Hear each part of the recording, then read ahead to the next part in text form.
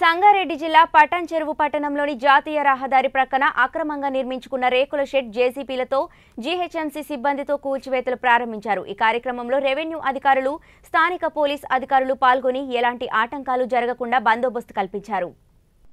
బాధితులు మాట్లాడుతూ రెవెన్యూ అధికారులు మాకు ఎలాంటి నోటీసులు జారీ చేయకుండా మా షాపులోని వస్తువులను ధ్వంసం చేసి కోట్ల ఆస్తి నష్టం చేశారని అధికారులపై అత్యున్నత న్యాయస్థానం సుప్రీంకోర్టును ఆశ్రయిస్తామన్నారు.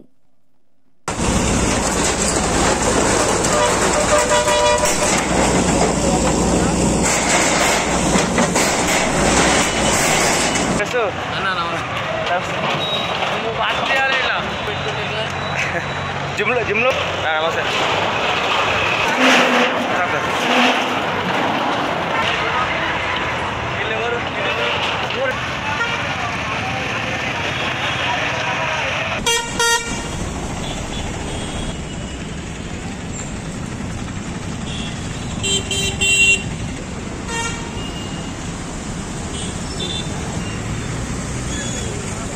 Most meg be nem azt